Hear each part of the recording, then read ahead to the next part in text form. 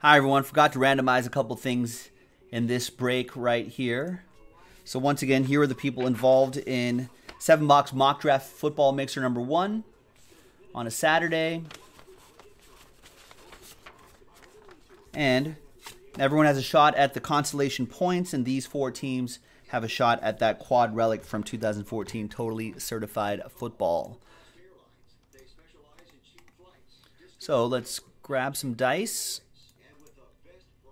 Let's get the team list here, get all of your names, put them in this blank list.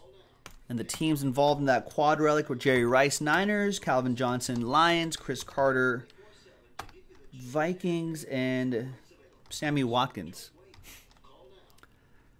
it's hold on, look at this. I, I guess I, I was just kind of cruising through the breaks. I didn't really think about it, but Jerry Rice, Calvin Johnson, Cris Carter, Sammy Watkins. One of these things is not like the other. One of these things just doesn't belong. All right, let's roll the dice. Let's randomize each list four and a two, six times. Points first. One, two, three, four, five, and six. After six times, it's David Lopez, 150 points coming your way. And for the quad relic,